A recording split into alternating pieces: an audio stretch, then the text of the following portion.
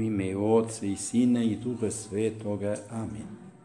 Gospodine moj i Bože moj, čvrstu vjerujem da si ovdje, prisutan, da me vidiš, da me čuješ, smjerno ti se klanjam. Molim te za oproštenje mojih grijeha i za milost da ovo vrijeme molitve održim tako da mi donese plod. Mariju moje prečista majko, Sveti Josipe, moj oče i gospodaru, moj anđele čuvaru, zagovarajte me.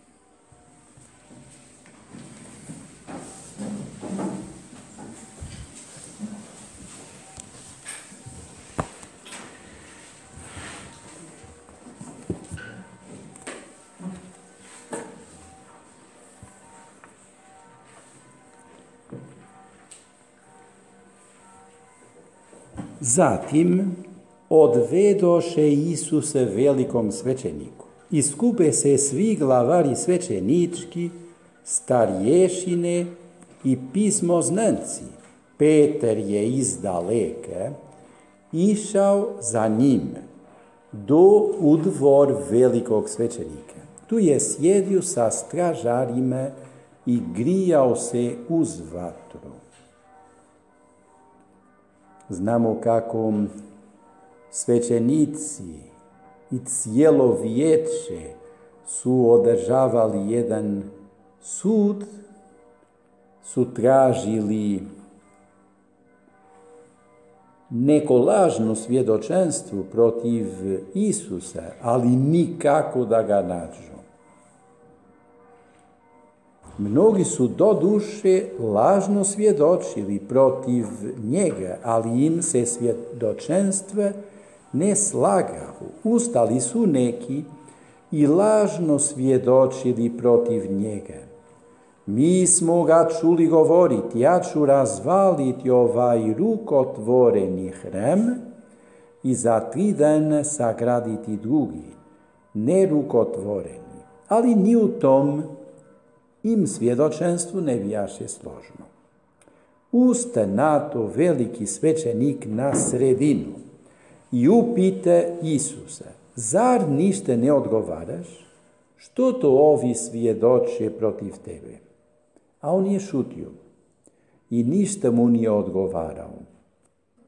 O tome smo već, već razmišljali kako Isus je imao tu snagu za šutjeti. I kako mi također trebamo moliti za tu milost? Zbog šutnje skoro nikada se nećemo pokajati. Zbog govora mnogo puta. Trebamo moliti Duha Svetoga da nam pomogne za razlikovati kada je bolje šutjeti i kada je bolje govoriti, jer također nije šutjeti uvijek. Ali mnogo puta je bolje šutjeti i saslušati. To također je važno i, i puno puta je, kada je u pitanju pomagati drugima, je važnije slušati nego govoriti i savjetovati. Ponekad, ako uspijemo dopuštati da drugi otvore svoje srce i govore što ih muči, možda to je dovoljno za, za usmjeriti jednu osobu, tješiti, e, olakšati, možda za pronaći i rješenje za problem. Onda molimo i mi Isuse da nam pomogne da kao On znamo slušati i šutjeti kada je potrebno. Ali veliki ga svećenik ponovno upita, ti li si Krist, sin blagožlovljenoga? A Isus mu reče, ja jesam. I gleda ćete sine čovječjega, gdje sjedi, s desne sile i dolazi s oblacima nebeskim. Na to veliki svećenik razdrije haljine i reče, što nam još trebaju svjedoci? Čuli ste hulu. Što vam se čini? oni svi presudiše da zaslužuje smrt. I neki stanu pljuvati po njemu, zastirati mu lice i udarati ga govoreći, proreci, i sluge ga stadoše pljuskati. Jesi li ti Krist? Ja jesam. Tu je hula, kaže veliki svećenik. Samarijenke nije to rekla. Kada Isus je rekao, ja jesam, ja koji sada razgovaram s tobom, ona je brzo otišla u grad i pozvala sve ljude iz grada. I rekla, možda je on Mesija. Nije odmah utvrdila također kao, kao dobre pedagoginje. Dođite vidjeti čovjeka koji mi je rekao sve što sam, je činio, što sam ja činila. Nije li on možda Mesija? I onda ljudi su se oputili i na početku su vjerovali u Isusa zbog te žene, kasnije, jer oni sam su se uvjerili i su bili samaritanci. Nisu oni reagirali poput svećenike. Ovaj čovjek slijep od rođenja, koga je Isus ozdravio, i onda svećenici farizeji su ga istjerali iz sinagoge, jer on je vjerovao u Isusa. Dobro, kada Isus ga je sreo u hramu, vjeruješ li u sine čovječjega? Gospodine, tko je on? Da mogu vjerovati. Ja sam, ja jesam. Ja koji razgovaram sada s tobom, ispred tebe. I taj čovjek je rekao, vjerujem, gospodine. Svećenici, farizeji nisu vjerovali. Kako je važno da mi imamo dobro raspoloženje. Ako se može ovako reći, dobro nutarnije raspoloženje. I mi trebamo se otvoriti Isusu i mi želimo povjerovati Isusu. Mi želimo se predati njemu. Puno puta nam može biti teško vjerovati. Ali onda nemojmo tražiti grešku u Isusa ili u druge, nego u sebi. Ako mi je teško, to znači da trebam možda popraviti nešto. Farizeji, svećenici nisu vjerovali, ali žene je slijepac iz rođenja je. Onda, što se ovdje događa? Kako je važno da imamo čisto srce. I zbog toga kako je važno moliti čisto srce stvori mi Bože i vrati mi radost svoga spasanja. Čisto srce stvori mi Bože i duh postojan obnovi u meni. Daj meni taj duh postojan. Ali duh postojan je važan kada je i čisto srce. Jer ako čisto ako srce nije čisto, možda duh postojan ne bi bio korektan, ni dobar. Kako je važno da molimo gospodine za pomoć, da imamo čistu savjest, da imamo čisto srce, ponavljam, da budemo otvoreni za priznati Isusa, da možemo prepoznati Isusa, prihvaćati Isusa, i dok je Peter bio dolje u dvoru, dođe jedna sluškinja velikog svećenika. Ugledavši Petra gdje se grije, upre u njih pogled i reče, i ti bijaše s nazarečeninom Isusom. On za njega. Niti znam, niti razumijem što govoriš. I iziđe ven u predvorje, a pijetao se oglasi. Sluškinja ga ugleda i poče opet govoriti nazočnjima. Ovaj je od njih, uporna žena. On opet nije kaže. Domalo, nazočni, opet stanu govoriti Petru, doiste i ti si od njih, ta Galilejac si. On se tada stane kleti i preklinjati, ne znam čovjeka kom govorite. I odmah se po drugi put oglas pijetao. I spomenu se Peter one besjede, kako mu ono Isus reče, prije nego se pijetao dva puta oglasi, tri put ćeš me zatajiti. I briznu plać. Peter se pokajao. Kaže također tradicije da je sreo djevicu Mariju na izlazu i taj susret je za njega bio spasenje. Moć jednog pogleda. Sluškinja je oštro pogledala Petra i Petar se uplašio.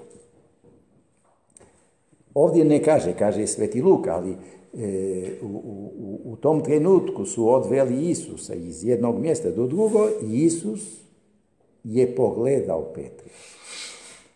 I Petar, kada je sreo Isusov pogled, obratio se. Priznao taj grijeh. Prepoznao kako Isus ga prihvaća. Briznuo u plać.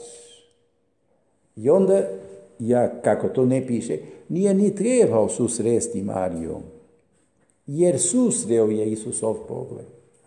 Isusov pogled je sve rekao. Nije Isus govorio tim pogledom, vidi, ja sam te upozorio, ja sam ti rekao, ti si bio oho.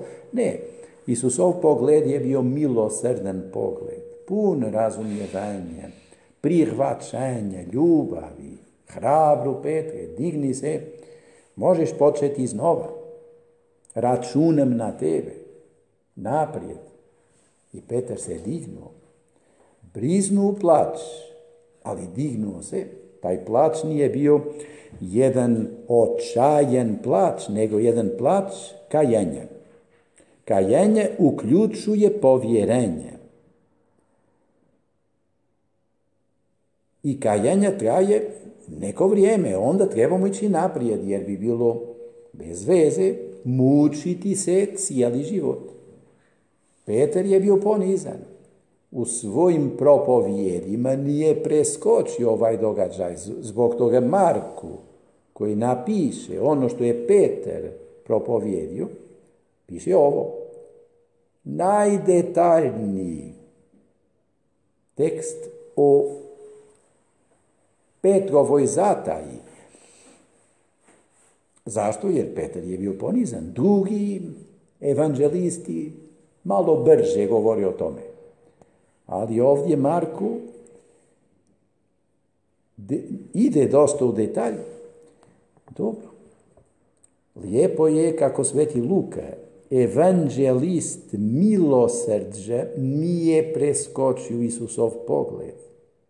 I onda mi možemo misliti kakav pogled treba biti moj pogled. Je li moj pogled treba biti pogled ove sluškinje koja je htjela optužiti i ne znamo što je ona tražila.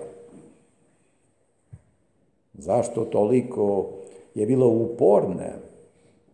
Budimo mi uporni začiniti dobro. Ne začiniti zlo. Budimo uporni za govoriti dobro drugima, za pomagati drugima, ne za optužiti, ne za željeti zlo. To, pa mislim da ne vodi nikuda. Koje radost bi imala ova sluškinja pa nakon ovog događaja? Bez veze. To, takvi smo mi ljudi neka naše srce bude po srcu Isusovu. Trebamo naučiti gledati druge s razumjevanjem. I gledati mene, drugih ljudi, kroz prste. Imati strpljenja. I pružati uvijek novu šansu. Ja mislim da posebno u obitelji, u duhovnom životu, u prijateljstvu, u odgoju, trebamo uvijek dati novu šansu. nećemo nikada se pokajati da smo bili milosrdni. Mislim da to se može reći.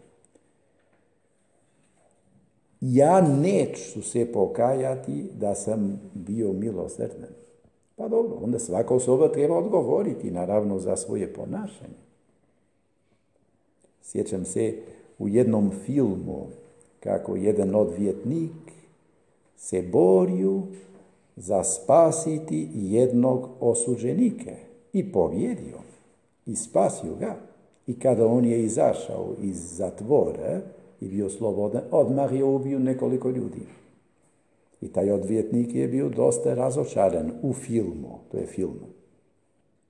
Ali naravno, težak slučaj, težak problem. Pa ja sam se trudio, ja sam pokušao spasiti čovjeka i čovjek čim je oslobodi napravi ponovnu glupost. Možda je bio kriv prije. Već. I ponavlja svoju grešku. Svaka osoba odgovara za sebe, ali taj odvjetnik je sigurno, mislim ja, pokušao dati najbolje od sebe. I mi ne znamo sve. I ponekad nisu samo događaji krajna riječ. Pa dobro. Krajna riječ ili zadnja riječ pripada gospodinu. U tom filmu taj odvjetnik je odustajao od odvjetništva. Pa dobro. Jedno moguće rješenje. Ne znam je li treba biti uvijek ovako. Ali on je doživio razočaranje. Neću više braniti ljude.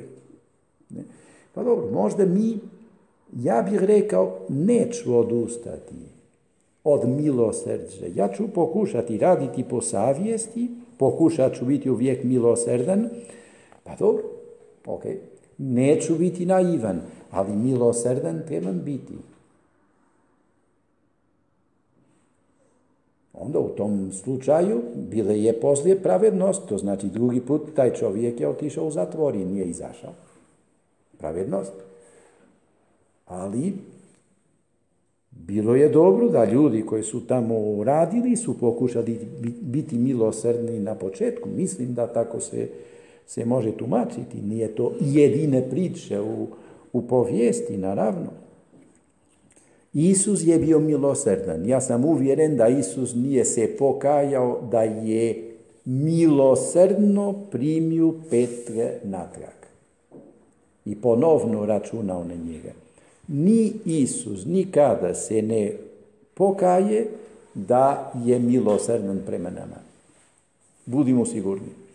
To znači Isus uvijek oprašta bezuvjetno i uvijek nas prima natrag i računa na nas.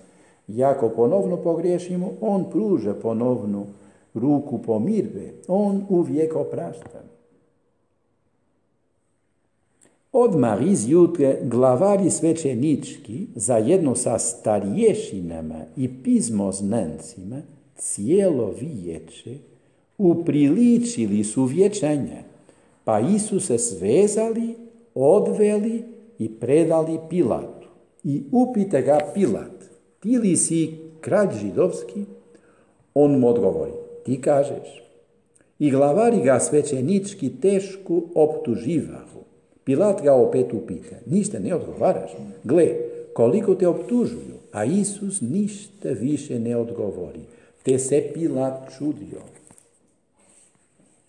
U blagdanu bi im pustio uznike, koga bi zaiskali a za jednu s pobunjenicima koju pobuni počiniše u morstvu, bijaše u okove bačen čovjek zvani Baraba, sin očev. I uziđe svjetina te poče od Pilata iskati ono što im običavaše činiti. A on im odgovori, hoćete li da vam pustim kralja židovskoga Znao je doista da ga glavari svećenički bjahu predali zavisti, ali glavari svećenički podjare svjetinu da traži, neke im radije pusti baravu. Pilat ih opet upite, što dakle da učinim s ovim, kojega zovete kraljem židovskim. A oni opet povikaše, raspni ga. Reče im Pilat, ta što je zla učinio? Povikaše još jače, raspni ga. Hoteći ugoditi svjetini, Pilat im pusti barabu, a Isuse izbičeva i preda da se razapne. Svaki put kada mi griješimo, događa se ponovno ovaj sud. Koga hoćete da vam pustim? Griješnik govori Barabu. Griješnik ponovno razapinje sina čovječega. Gospodine, oslobodi mene od ljudskog obzira ili od straha. Strah je ponekad što će drugi misliti o meni, što će drugi govoriti, što, kako će me gledati, kako će me prihvatiti ili ne, je li će me odbaciti. Pa to su pitanja. Ali ako je u pitanju biti predan Bogu, vršiti volju Božju, ispuniti zapovjedi, ne smijemo oklijevati. Ne smijemo ugoditi svjetini ili htjeti ugoditi svjetini kao Pilat. Pilat nije imao snagu za reći istinu. On je znao da Isus je nevin. Trebao je ga pustiti ali nije imao snagu. Molim gospodine za snagu, za u svemu uvijek vršiti volju Božju. I ne bojati se ljudskih obzira. Što će drugi reći? Ne bojati se ruganja. To je Papa Benedikt XVI rekao da u našem vremenu puno puta mučeništvu nije krvlju, nego ruganjem. Ljudi se rugaju. Kako ti živiš, ideš u crkvu, moliš, živiš u skladu sa tim stvarima koji nisu moda, koji su staromodne, pa trebamo moliti gospodine za snagu, da se ne bojimo, da budemo ustrajni. Vojnici ga odvedu u unutarnjost dvora, to jest u pretoriji, pa sazovu cijelu četu. I zaogrnu ga grimizom, spletu trnov vijenac i stave mu na glavu. Te ga stenu pozdravljati, zdravo kralju židovski. I udarahu ga trskom po glavi, pljuvahu po njemu i klanjahu mu se prigibajući koljena a pošto ga izrugaše, svukoše mu grimiz i obukoše mu njegove haljine. Možda u ovim danima, kada budemo došli u crkvu i poklonili se Isusu, možemo reći, gospodine, i tim ovim poklonom želim pružati zadovoljštinu za to rugenje u pretoriju Pilata i izvedu ga da ga razapnu. I prisile nekog prolaznika koji je dolazio s polja, Šimuna Cirenca, oca Aleksandrova i Rufova, da mu ponese križ. I dovuku ga na mjestu Golgotu, što znači Lubanjsko mjesto. I nuđahu mu piti namirisane vina, ali on ne uze. Jer Isus je htio do kraja prikazati svoju žrtvu. Gospodine, ja želim živjeti mrtvljenje. Mi puno puta trebamo znati pa živjeti taj post ili taj nemrs ili to odricanje u, u, u jelu i piću i, i možda također na taj način pružati zadovoljštinu Isusu. Kad ga razapeše, razdijele među se haljine njegove, bacivši za njih kocku, što će tko uzeti?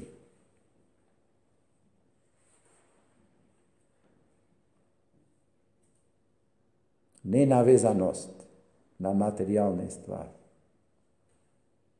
A bijaše treće ure kada ga razapeše. Bijaše napisan i natpis o njegovoj krivici, kralj židovski, a zajedno s njime razapnu i dva razbojnika, jednoga njemu zdezna, drugoga slijeva, da još više ponižavaju Isusa. Znamo kako jedan od tih razbojnika je spasio dušu, jer je priznao Isusa, jer se ponizno obratio Isusu. Isuse, sjeti se mene u kraljevstvu svome. Zaista kažem ti, danas ćeš sa mnom biti u raju. Isus je sve oprostio. Trebamo vjerovati u Isusa, trebamo se pokajati za naše grijehe i trebamo osjećati tu sigurnost. Gospodin mi je oprostio. Gospodin me ljubi. A o šestoj juri tam nasta po svoj zemlji, sve do ure devete. O devetoj uri povike Isus iza glasa Eloj, Eloj, lama sabahtani. To znači, Bože moj, Bože moj, zašto si me ostavio? Neki od nazočnih, čuvši to govorahu, gle, ili uzove, a jedan otrče, natopi spužvu octom, natakne na tersku i pruži mu piti. Govoreći, Pustite da vidimo hoće li doći Ilije da ga skine. Učinio jedno dijelo milosrđa. Možda i kraj e, e, e, kaznije taj vojnik se obratio. Ali htio je se opravdati pred drugima. I rekao je ovu rečenicu. To znači, jako je istine da je učinio dijelo i ipak nije imao dovoljno snage da se potpuno opredijeli za Isusa. Molimo i mi za tu snagu kada je potrebno činiti dobro, ne bojimo se činiti dobro. Kada je potrebno izaći u, u, u pomoć ili skočiti u pomoć, zabraniti neku osobu, pa ne trebamo se opravdati. Radimo po savjesti. Nemojmo se bojati činiti dobro. Kaže svetopizmu, neka nama ne dodije činiti dobro. Ne smijemo se pokajati da budemo dobri i da činimo dobro. A Isus zavapi jakim glasom izdahnu. I zavijese se hremske razdrije na dvoje, od ozgor do dolje. A kad satnik, koji stajaše njemu nasuprot, vidje da tako izdahnu, reče, zaista, ovaj čovjek bijaše sin Boži. Iz daleke promatkahu i neke žene.